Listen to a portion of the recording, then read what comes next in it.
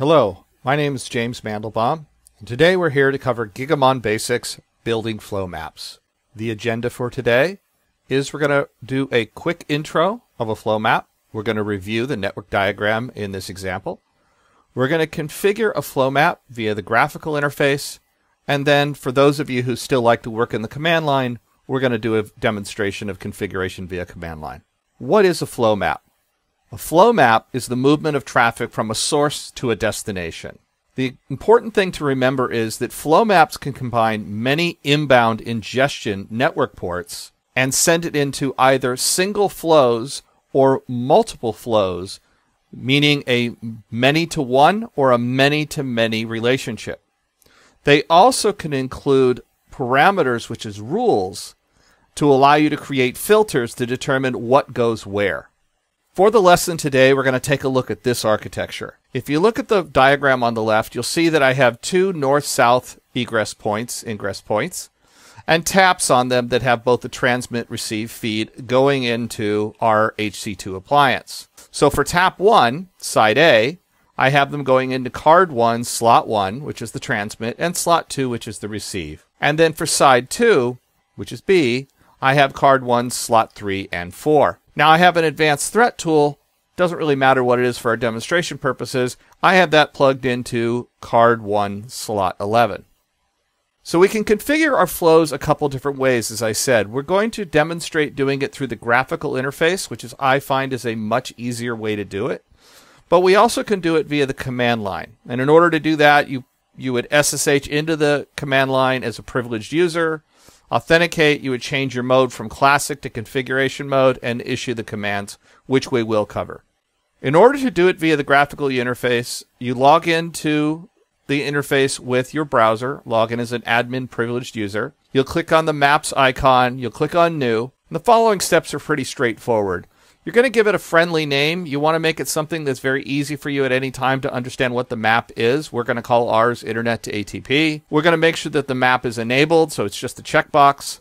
We're going to change the subtype to a pass all. We'll cover that when we go through it. We're going to click into the source field. It'll populate our options to populate the source. In our case, we have those four sources. We're going to click in the destination field, which will only have one choice. We'll click on that and add it. We'll click on OK, and it'll make the map for us.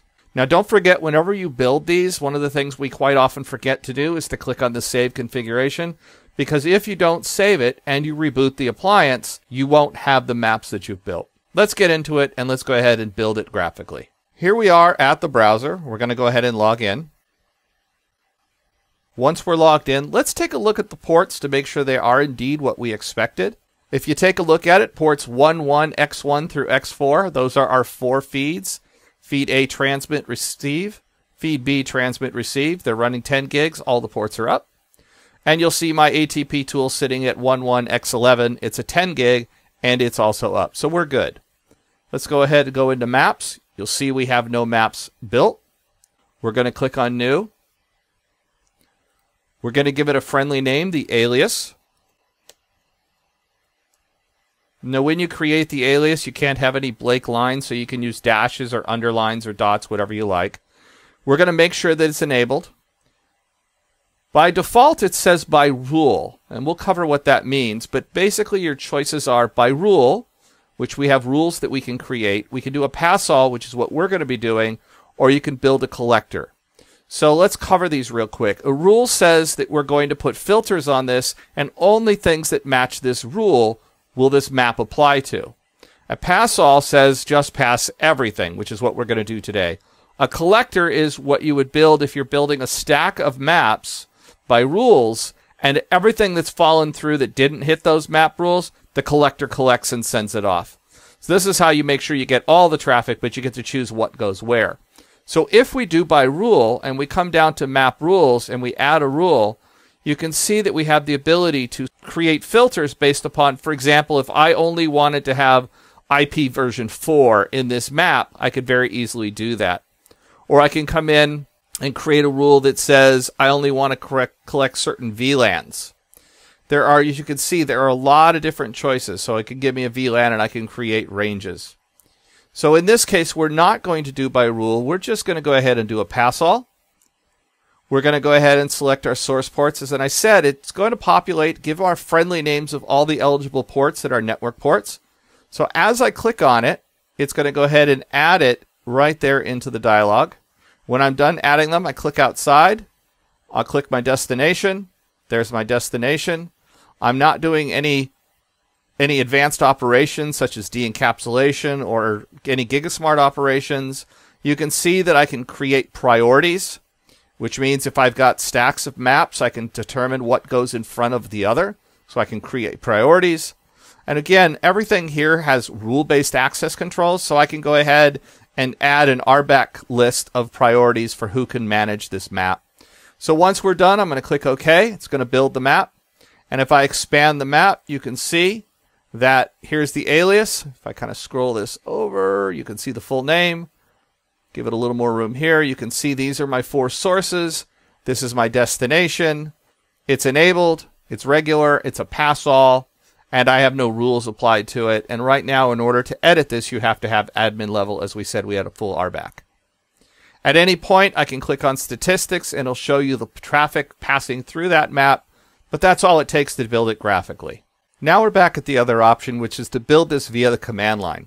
I've gone ahead during the break and I've gone ahead and deleted that map so we can create it at the command line. In order to do that, we would SSH into that into that interface, log in as an admin privileged user. We would enable ourselves, which would move from classic mode to configuration mode. We would configure terminal, and then we would start creating the commands. So we're going to create a map pass all. We're going to give it an alias, a friendly name. We're going to choose from port 11x1 to X4. Now, can I go through and manually say from 11X1, from 11X2? I can. But why not just do the dot dot X4 and include all of them in one command? I specify the two 11X11.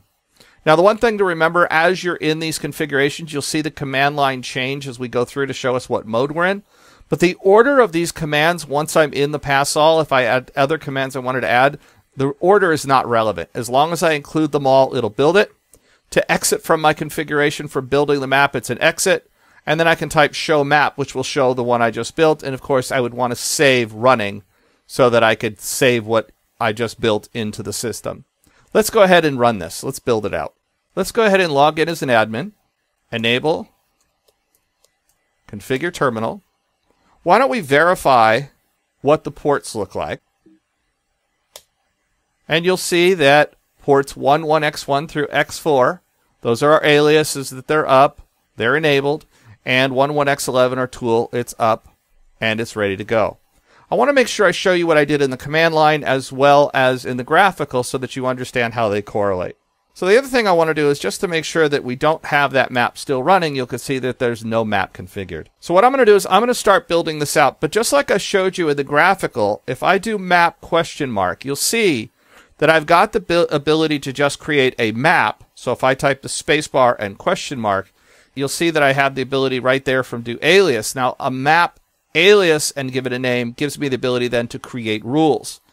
But in our case, we're going to do a map pass all. We're going to give it an alias. And in my case, again, I'm going to call it internet to ATP.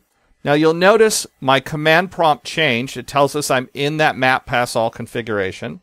I'm going to do a from 1 1 x1 through x4 to 1 1 x11.